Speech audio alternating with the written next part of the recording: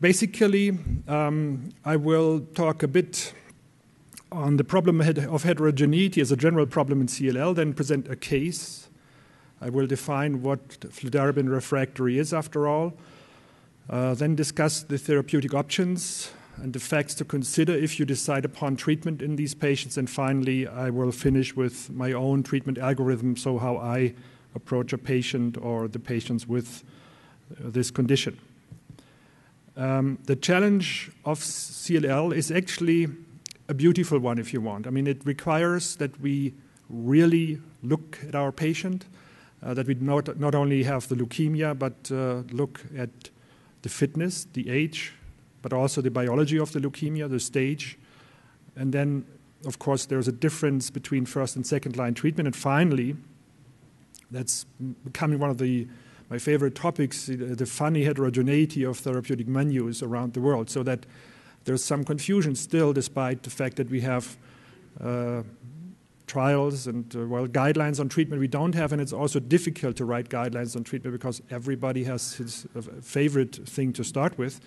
And i will allude to that a little bit um, because that's it's of some concern i would say i will start with a case uh, a case that is actually um, showing you um, even when we started in 2001 with this patient to treat uh, even of today um, we can see in this patient quite nicely how the challenges are and what we have to consider. So it started in 2001, uh, this 49 year old lady, diagnosis of CLL with a generalized lymphadenopathy, which was quite striking from the very beginning and only a mild lymphocytosis. Uh, there was a FISH done early on uh, outside of our hospital. It was done in a, in a practice, oncology practice in Germany, and they found a deletion 17p thymidine kinase and beta 2 microglobulin values normal, no symptoms, and therefore, rightly so, there was no treatment. A year later, she actually was progressing, had uh, stronger lymphadenopathy, and needed treatment at least according to the opinion of the uh, treating hematologist. So she received six courses of fludarabine plus rituximab, a treatment that we wouldn't do or probably no longer do today, and that's why I'm actually showing you this case.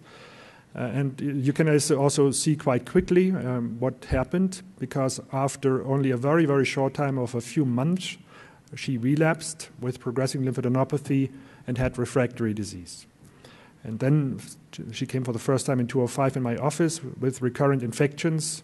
She was really feeling extremely sick, extreme fatigue, and had uh, large lymph nodes of several centimeters, uh, in particular at the, at the um, neck. The blood counts were not all too bad. As you can see here, the white blood cells were close to normal. So, what we did then is to exclude a Richter's transformation in this patient. Uh, she had flat CLL and uh, had a couple of options. And I can tell you that this treatment decision with alemtuzumab um, was done while I was on vacation. Probably I was giving a talk in Canada at that time. Um, and uh, so it was Clemens Wendtner who actually decided. Uh, we, we knew that we had to do an alemtuzumab regimen, uh, but I wanted to rather give a combination. And when he was responsible for her, he chose alemtuzumab single agent, which, by the way, is interesting because 50% of the patients respond, 50, the other 50 don't. And she responded extremely well had a complete resolution of all lymph nodes, and uh, then we went on and did a transplant.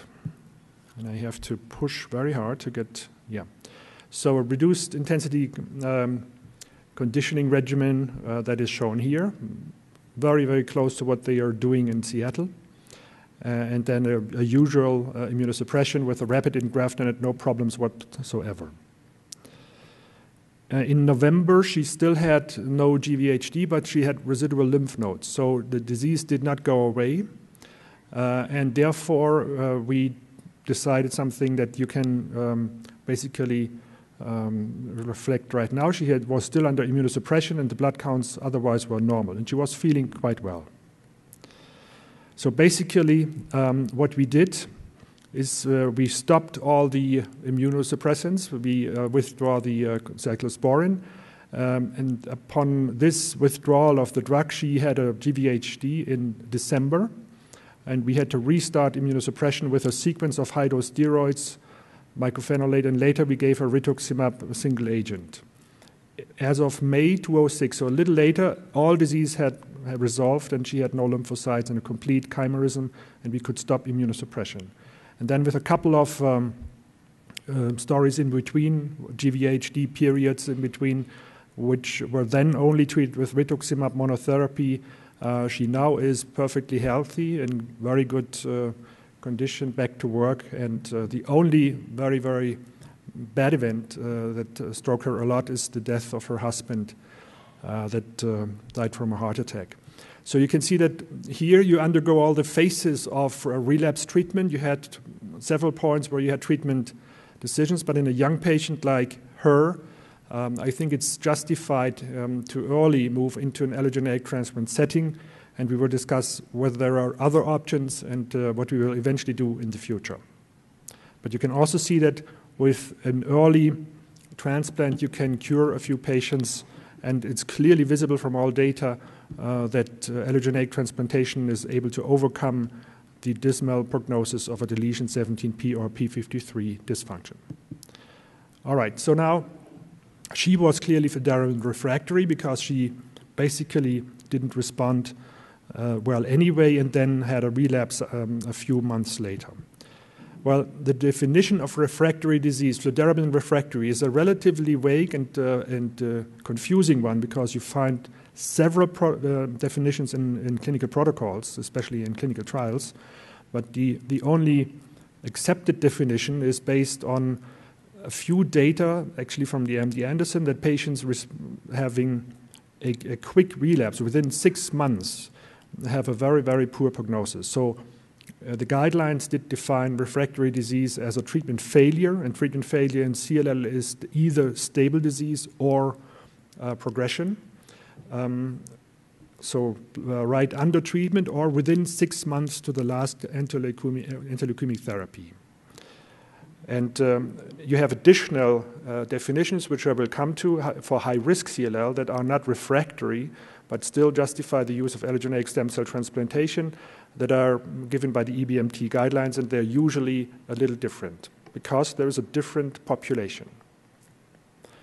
So, because there is a second category. So, refractory is within six months, but we have patients at very high risk following chemoimmunotherapy, either with FC or with FCR.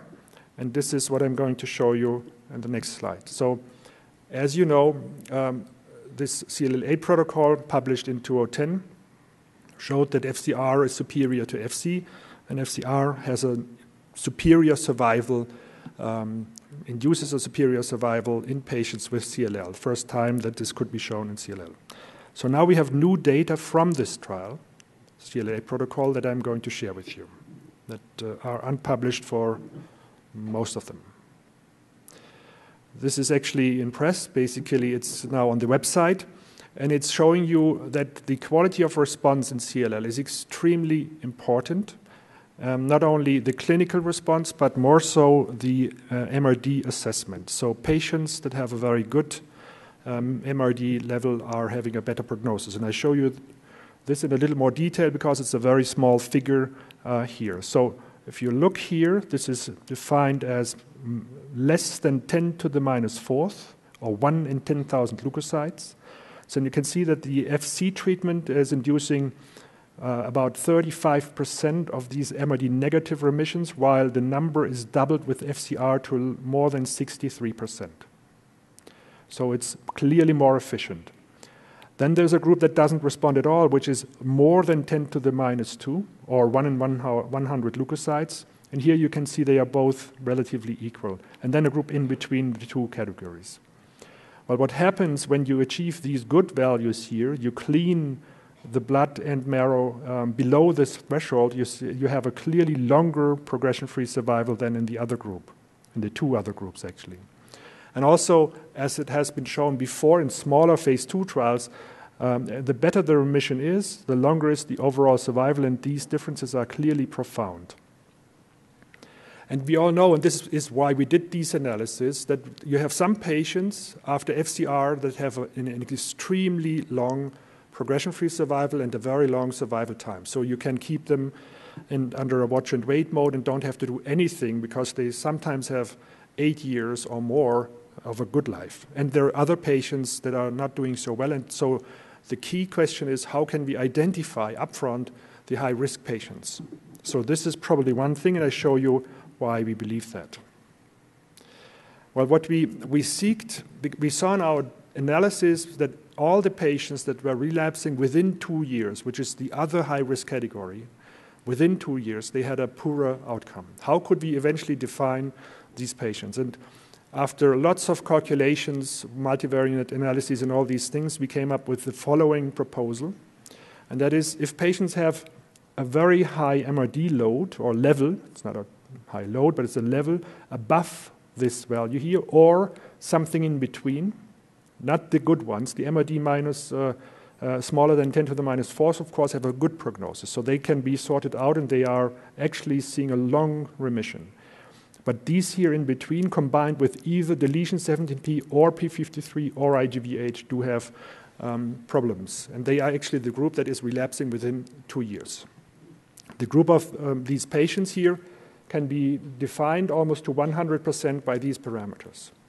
So if you use this, you can then separate two groups that have a very distinct, a very different time to progression, as shown here, high risk and low risk.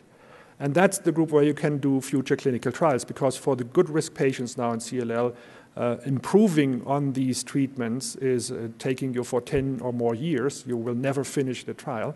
However, for the high risk group, you, can, you have to optimize because, as I'm showing you on the next slide, the overall survival in these patients, starting from the first time of inclusion in the trial, is around 57 months, so not even five years. In other words, if a patient doesn't respond well to FCR or a similar regimen, or if he doesn't have a good response, and he's likely to come back with the disease within two years. And this means he has an overall survival of below five years, which is why we want to improve in this group of patients, while we probably can just finish, um, and FCR is doing a very good job in these low risk, high risk patients. There's one interesting thing that is maybe an important detail that I don't show you here. But this high risk group here um, is only determined by approximately 20% by the P53 status. So um, P53 or deletion 17p. All the rest, the 80% of the other patients, we don't really know. And this is why we had to seek for alternative or additional parameters, and MRD is an excellent one. So what we are going to do now, it, the study has just started, is the CLLM1 protocol, where we actually, since we do not know yet which of these regimen, like FCR, uh, this is a typo, FCR, bendamustine, or plus rituximab, data from the CLL10 protocol are still awaited. So we allow all these different modalities, and then we will do a randomized comparison after uh, this here for the high risk patients, and only the high risk patients, in a two to one randomization where we do a Revlimid or lenalidomide ma- maintenance therapy in order to improve the outcome of these patients. So this is the novel strategy to uh, improve in this high risk group. So these are not really refractory, but I think high risk enough to do something. And actually, in a younger patient that would be eligible for transplant, I would probably select those patients for transplantation protocols as well. And we can discuss this uh, later. All right, now let's come now we have that we have defined the, uh, the high risk refractory and early relapsing population. And I, I told you that there are probably two groups the really refractory patients and then the ones that don't respond for a very long time. What are the therapeutic options? And uh, here comes what um, uh, reflects the therapeutic heterogeneity on our globe. So, at the Mayo Clinic, probably what he would be offered a patient at relapse is a little bit of uh, green tea. And uh, then they would look whether the patient would do with it. If you go to Seattle, I don't have to ask you what you would say now. You probably get a marrow transplant anyway. If you haven't gotten it in the first line, then you get it in second line for sure. Now, with all these different regimen and recipes across the globe, green tea, transplantation, in some centers, antibodies. Um, a, it's a difficult task to really select the best treatment, and I think we have to, to think about this a little more in the future to get some standardization for second line treatments. Uh, but I will talk about these modalities except for green tea um, uh, in the next few minutes. So, some, especially in Northern America, some centers actually are quite keen to give single agent rituximab.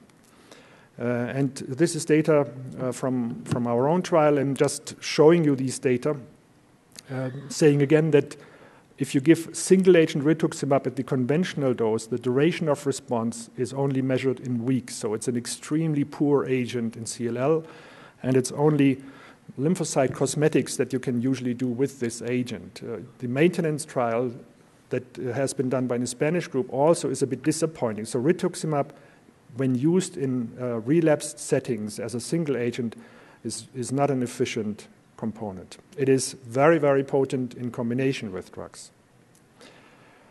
There's one exception eventually to this topic, and I will. Uh, we have done this in Cologne a couple of times, inspired by this publication, with mixed results, I should say.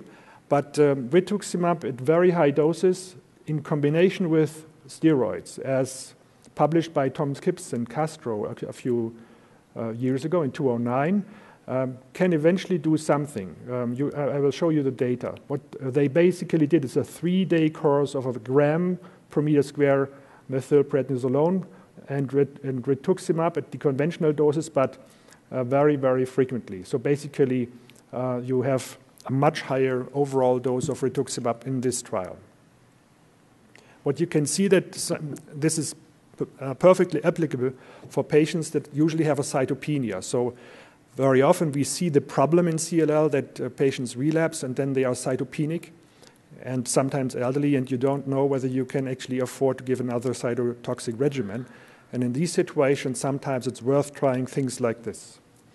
And, and so here, uh, what um, Tom Kipps and his group could show that you could overall improve um, both the platelet counts and the hemoglobin values. Um, however, um, and, and the overall response rates are actually very, very good.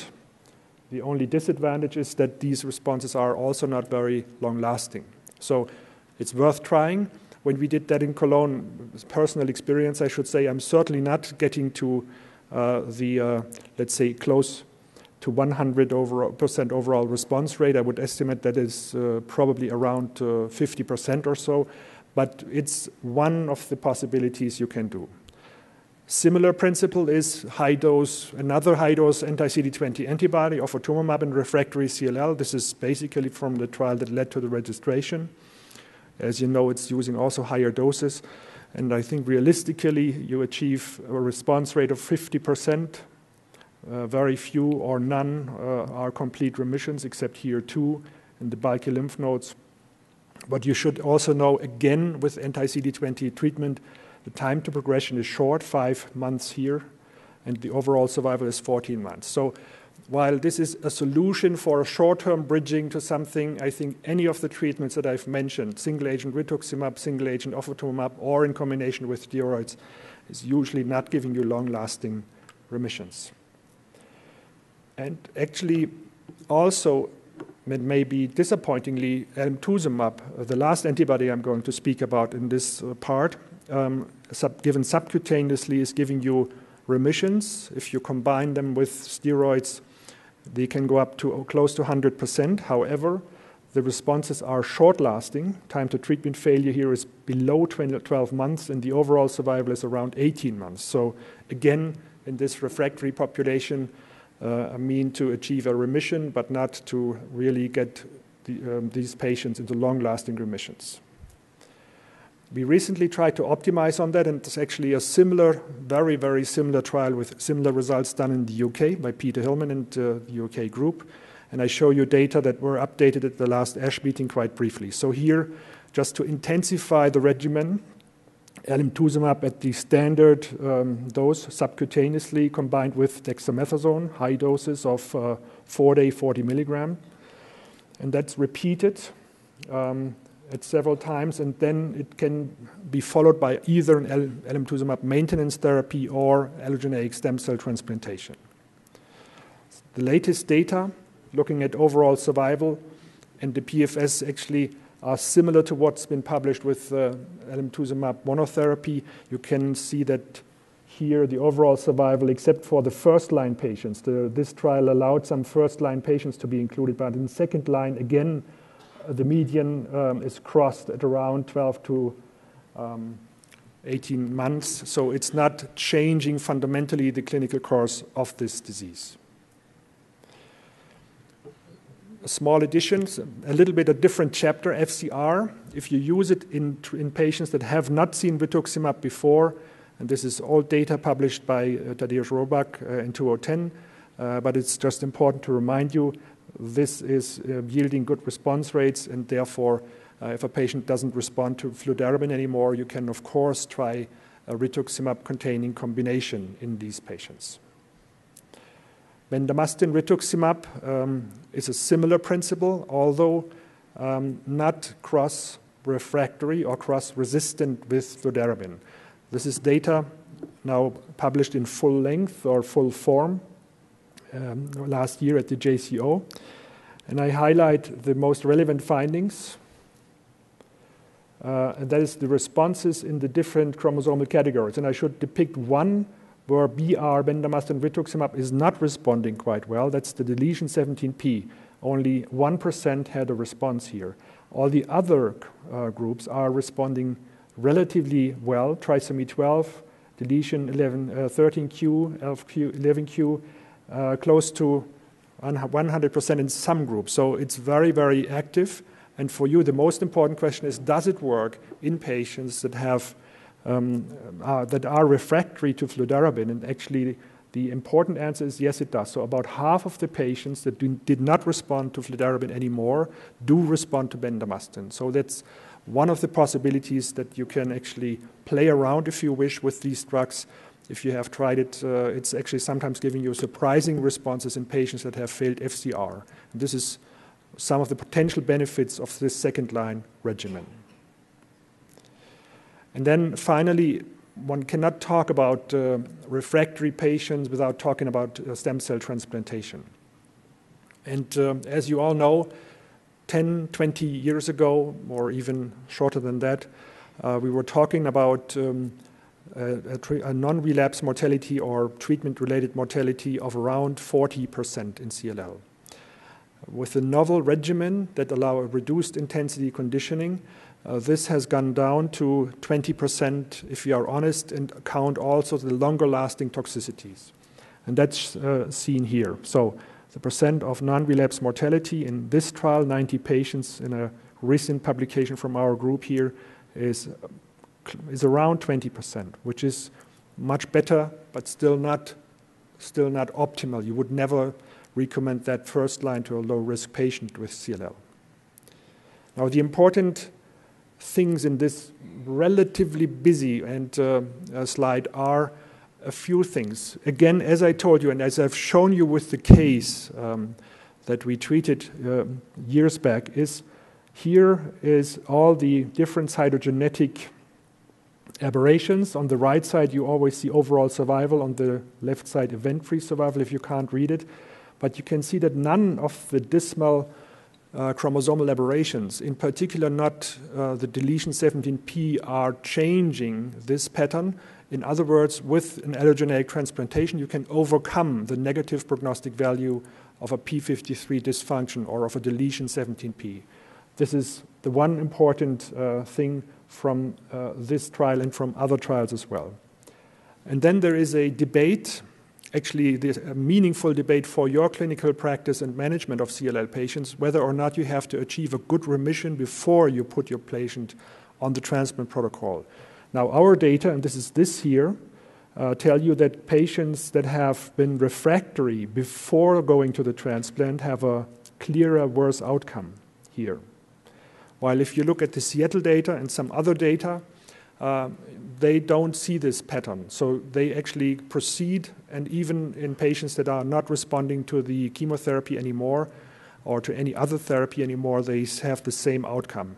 So this is still under strong debate in the field. What we are currently doing is to actually proceed, but because in most of our patients, we don't have a choice uh, anymore. It's more important to get them onto the transplant protocol if they fail to everything uh, than to expect that you get them into some sensitive state where they have a very, very good partial remission uh, before going to the transplant. Okay, and then in the last part, and it's, it's clearly changing our um, discussions with the patients now, at least, and they will ask you about this as well. There are several new agents in CLL. And therefore, uh, it's impossible to talk about CLL refractory uh, CLL patients without discussing uh, briefly about the new agents that are coming now. I just wish to make sure that I'm doing well with time, yeah? Because I can, I'm very, very flexible. All right, so you have the antibodies, CDK inhibitors um, that I won't talk about, uh, lenalidomide, and then specific signaling inhibitors, uh, which are particularly important. I will not talk about GA101. We are doing a first-line trial here, but we and we see responses. But since this drug is not available and there's not a, a large trial done in second line right now, I'm skipping this. Although I think it's a very potent agent. Revlimid is one of the options. So if you have re refractory patients, one of the things that you, I'm always discussing with my patients is uh, whether we would give it a try to use Revlimid or lenalidomide. And the reason for that is shown on this table here. Uh, small phase two trials. Nevertheless, um, all of them, this is a slightly different design here with a dose increase, so the numbers of responses are slower, but you see response rates between, let's say, 30 to 60 percent. And the interesting thing is with lenalidomide, if you do achieve a response, they are long lasting. So some of the patients, you can control them uh, for a longer time. As you can see here, just as one example, uh, in elderly patients, 37% are, of the patients are alive at 14 months. And as, you, as I've shown you before, this is slightly different for, from what you see with alemtuzumab or all the antibodies. So it doesn't work in all patients, but if it does, sometimes uh, it can actually be a very long-lasting effect a new agent that um, is uh, developed in several institutions. I was just discussing uh, two weeks ago when I was at the opposite meeting to the cold meeting, at the hot meeting with John Seymour in Australia. He's actually quite keen of uh, using uh, this compound, ABT263, which is blocking BCL2. And the reason for that is that he sees patients like this, and they, we have done this in the international trial, and some of our patients are actually um, benefiting a lot from uh, large lymph node, bulky lymph nodes uh, that are resolving after a few cycles of this compound here. So this is clearly one interesting uh, compound under investigation, not available uh, yet. And then finally, uh, probably the most interesting development in CLL recently, and I, am almost confident that every other speaker will talk about it after uh, my talk as well, is the, the, attempt of therapeutically modify the B cell receptor signaling pathway. Um, so basically, uh, what we have to realize is that the B cell receptor signaling is critical for CLL. The antigen is um, actually binding to this B cell receptor complex, and the stimulation is probably feeding not only normal B cells but also malignant B cells. And the wonderful thing is, basically, totally against my initial belief that this signaling pathway remains relevant even in patients that have p53 deletions or are, ha- are having other things. So we would call this, you have eventually heard the term oncogene addiction already, which is cells remain addicted to oncogenes, and that's why the inhibitors work. That's why EGF inhibition works. And so the CLL cell seems to be a cell that is remaining totally dependent on this B cell receptor signaling pathway, because if you inhibit this, you can actually get them into cell death. And the elements that are in this pathway, this signaling pathway, are Src kinases, less efficient inhibitors here. Dasatinib is, is doing beautiful things in vitro, but in vivo is not so good. BTK, the Bruton tyrosine kinase, and PI3 kinase. And we have inhibitors now in clinical trials, especially for those two uh, kinases, while the SYK inhibitor, unfortunately, is developed for rheumatoid arthritis and not for CLL. So I show you two compounds with interesting data. CAL101 now inhibiting the PI3 kinase delta. And uh, as a monotherapy therapy or single agent, it's a little less efficient than the one that I'm going to show you next. And therefore, the company has done combinations presented at last ASH meeting, as I show you here. So rituximab plus the inhibitor, fludarabine plus inhibitor, bendamustine plus inhibitor, and finally um, another um, rituximab BR plus inhibitor. And what you see here is that the response quality is improving uh, with the combinations. This is uh, response rates. Uh, it depends on how you rate the overall responses. There's a debate on the lymphocytosis being an issue. I think that's um, complete nonsense because steroids are also inducing some lymphocytosis, so you can discard it. But in any case, if you have real responses, then uh, the overall response rate here is getting improved with the combinations. Um, and that's um, actually one of the interesting principles. And I think the next one is even more interesting. Um, the, this compound is, uh, has been developed by Pharmacyclics, is now has been taken over by Janssen or Johnson Johnson. And data of the, for this compound at two different dose levels, 420 milligram and 840 milligram, were actually presented at the last ASH meeting. And now I flip through this with you, like in a movie, to show you these data because um, that will illustrate why they are so interesting. First of all, side effects. In red, grade 4, you don't see any above. In uh, grade 3, they are only very little and you see that diarrhea is one of the major side effects of these inhibitors. Other than this, all the side effects are mild, and also the diarrheas rarely reach grade 3. There is, as um, you see here on this waterfall plot, almost every patient is responding. Uh, and the most interesting thing, and this is why I bring it here in this uh, refractory talk, uh, the high risk features that are usually uh, seen in clinical trials are leading to good responses. So this here, you can take the overall response rate for all patients, and you can read it uh, that it's 60 to 70 percent in all categories. Which are the categories? Well, patients above 70, patients with very large lymph nodes, patients with deletion 17p, uh, deletion 11q, which is not a, a dismal prognostic parameter anymore, but very high beta 2 microglobulin, and also purine analog refractory patients, our topic. So all of them do respond. And they respond for a long time. These remissions seem to last. I think it's a little premature because uh, the studies have to go on and we have to look after a few months. But this looks extremely promising. And this looks even more promising because um, we, I've never seen before in this group of patients, deletion 11, 17p, that the PFS would be up above 70 percent for a year. This would be new. If it's true, and we have to confirm this uh, by a longer follow up in other trials, this would be a really true change in management. Okay, so now you have seen the options, and now we come to how to apply this. And um, I'm, as you know, always advocating that we no longer look at the age of our patients, but at the fitness. And uh, as you also know, the German study group has made some proposals. One is to take the creatinine clearance, not only because you have to reduce the dose of your drugs anyway, but because the kidney function and therefore the creatinine clearance is a good integrator of many physiological functions, in particular all the vessels, all the vascular system actually. Uh, if, it's, if you have um, atherosclerosis, usually the creatinine clearance goes down anyway. So we use a combination of creatinine clearance and a cumulative illness rating score um, as actually taken up by John Gribben um, in the Blood Journal and used these two things, the, the CIRS score plus the creatinine clearance, to create three categories go go, slow go, no go.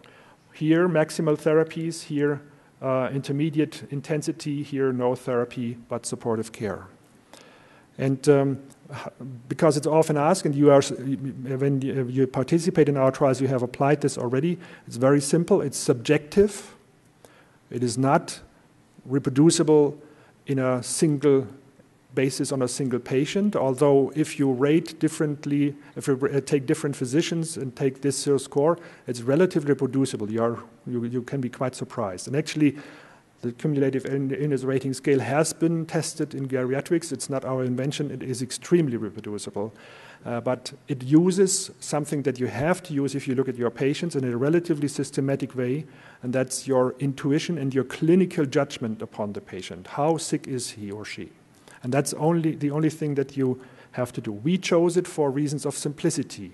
It takes you five minutes to, or even two to score your patient. If you have done this, you have a better feeling how the patient is doing. So basically, you list all the organ systems for mild or past problems, moderate problems, severe, uncontrollable, and extremely severe. And with simple, this simple score, we have conducted our trials. This is the uh, CRF that we are using, and it's only one proposal, but I'm so frequently asked now because this topic is uh, getting more and more important that I just wanted to show you how we do it. And actually, I don't have anything to, to do to defend this. I just have to say that it worked and it is simple. So we wanted to do it because it's so simple. Um, all right, so with this, we actually assess the fitness. So if we approach a patient that comes back and needs a second line treatment, the first thing I'm looking is how long has the response lasted. If the patient is refractory, so within six months or has not responded at all, or has progressed within two years, all these categories are actually summarized into one. Then I check the fitness first. If the patient is fit, then the key thing to do is to think about an allogeneic transplantation. It is not important how you achieve this remission. You can try several things alemtuzumab, fludarabine plus alemtuzumab, FCR, doesn't really matter, but we, we actually put him on a transplant protocol. Here there are many alternatives, some of them listed or studied at the last um, ASH meeting that you can also try a situation becomes a lot more difficult and more challenging if the patient is not fit enough to undergo an allogeneic transplant. In this situation, you change the treatment. Basically, you do something else because the same treatment doesn't make any sense. And the options are basically what I've talked, uh, what I've shown you in the entire talk, and I've listed it again here. Um, whatever you've done before, you switch to, for instance, alemtuzumab or BR, and so on and so forth. If the progression comes afterwards, then it's relatively easy. You can repeat the first line treatment. Now, sometimes in my own practice, this is also a difficult thing because let's say a patient comes at 30 months, like um, one and two and a half years after FCR. And I'm start wondering, I mean, so the, these, these uh, cutoffs uh, or years actually are not so sharp as they, they seem, of course. And sometimes in a very young patient, this becomes a difficult choice. Nevertheless, we have done calculations, many of them, with FCR, and it seems really that around two years currently, with the modern chemoimmunotherapies, it's about right, and it's based on data now. It was clinical intuition when I gave this talk, let's say, a year ago, but now we have calculated lots of data from the CLL8 protocol, and it seems really that all the patients that do relapse after two years do much better. So there's always a Gaussian distribution, of course, uh, and uh, sometimes we have to debate about this patient, but after, let's say, four years, five years, six years, you simply repeat FCR and the patient will do fine again. All right, and with this, I think I'm uh, at the end of my talk not without thanking all the uh, wonderful people working at the uh, German CLL study group. Uh, there's another uh, fan and supporter of all the Canadian skiing activities, Clemens Wendtner, who was also at this meeting here. Um, and I thank all these co uh, workers in Cologne and in Germany uh, because I'm only presenting the data. It's their work and not mine. Thank you very much. Well, thank you for a wonderful talk. I was interested in a number that you had. Uh, if I got it correct, you had 40 out of 143 patients that turned out to be high risk. Yes. So that's 29%. Yes. And that's, a, that's considerably more than the 17p. So there must be something additionally wrong with those people. Exactly. So I was wondering whether your team had been beavering away on that and come up with, say, some gene array studies or some, some underlying uh, molecular biology rationale that, to be able to identify those patients? That's a wonderful question. It's um, I honestly don't have any answer, but it's exactly the point that we are now to, trying to find out to um, characterize those patients. By the way, exactly with the techniques that you proposed, microarrays or or others. There are eventually some 6q deletions in this group, uh, but that's not the major explanation.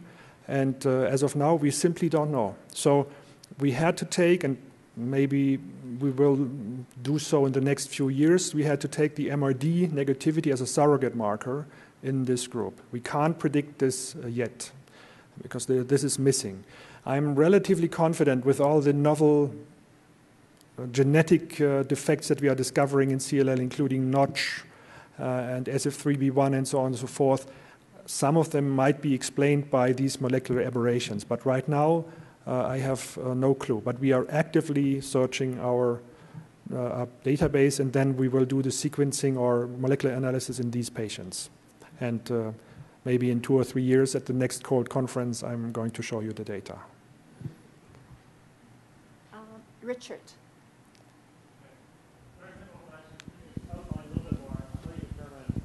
Minimal residual disease. Yeah. Minimal, yeah, repeat the question since it's um, uh, it was um, barely audible on the right side in the front here. So MRD negativity, how is it defined? So um, basically, there's a consensus paper um, uh, by the ERIC, but which was also uh, joined by uh, some American groups, including, for instance, uh, the group in San Diego, uh, that defines the um, threshold in one, of 1 in 10,000 leukocytes by four color flow. So it's a multi-color flow cytometry, and I should have said that before, so that's a very good question. What we did in the CLL8 protocol, then we applied this technique, but also compared it to PCR. And we also did a very systematic analysis of this in the blood and in the bone marrow, because the next apparent question could be, well, is it sufficient to do this in the blood, or can do we have to use the bone marrow? And the outcome of this, published in a smaller paper, by uh, Sebastian Böttcher is that you can use four color flow from the blood. It's equally sensitive. There are a few discordant cases, but the, that's usually below 5%. So, and it's actually going both ways. Sometimes you overinterpret the data in the marrow and in the blood, and vice versa. And therefore, um, the blood seems to be totally sufficient for a clinical assessment of MRD, four color flow cytometry. And I think it's going to be the key parameter to run clinical trials in the future because it will be a surrogate endpoint that you can read immediately after the treatment. Any other questions? Actually, I have a question, a sort of practical question. Um, it was actually very uh, enticing to, to see that data on lenalidomide. And uh, in clinical practice, how are you using it? You know, are you, are you starting low dose and then increase, and for how long do you continue the drug for? Um, yeah, it's a good practical question. I'm usually starting uh, if a, there's a residual tumor load, and most of our patients have a residual tumor load, I start as, at doses as low as 5 or 10 milligram. In the more fragile elderly patients, usually I start with 5 milligrams only, never with the full dose. And then I, I, I slowly increase at monthly uh, increments, if you want. So after one month, I consider whether the blood counts are okay, the platelets are still okay, um, and then I increase to the next dose level in five milligram steps. Um, and uh, basically, as soon as the platelets are dropping or I see other problems, then we reduce the dose. That's how we are doing it. Um, and I, I, yeah, it's a very, very good question and problem because you would uh, be ill-advised and should not start with, let's say, 25 milligrams on a CLL patients because then you will have acute problems.